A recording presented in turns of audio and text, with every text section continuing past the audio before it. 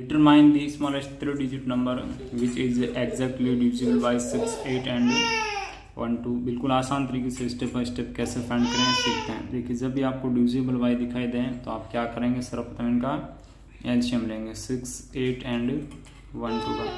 इनका एल्शियम कितना आ रहा है? देखिए दो का भाग जा रहा है। या चलिए डायरेक्ट पता लग रहा है कि यहाँ पर एक आएगा आपका एल्शियम का फैक्टर कितना? आठ क्योंकि आठ के फैक्टर क्या होते हैं? दो का तीन बार गुणा। दूसरी बार तीन यहाँ, एक बार आएगा, तीन एक बार आएगा। कितना आ गया आपका? Twenty four. अब इसको क्या करना है हमें स्मॉलेस्ट थ्री डिजिट में कन्वर्ट करना है। तो कैसे करेंगे? स्टेप सेकंड ट्वेंटी फोर के हम मल्टीपल लेंगे। कौन सा मल्टीपल लें कि स्मॉलेस्ट थ्री डिजिट में चला जाए? लगाओ दिमाग। तो हम इसके अलग अलग मल्टीपल लेते हैं, देखिए। इसके मल्टीपल लेता हूँ, जैसे मैं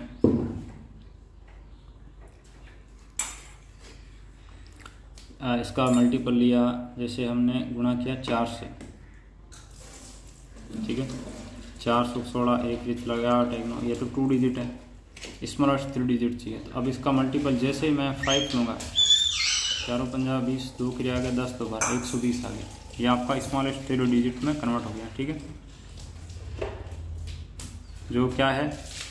इनसे डिविजिबल है, यानी यही आपका आंसर है।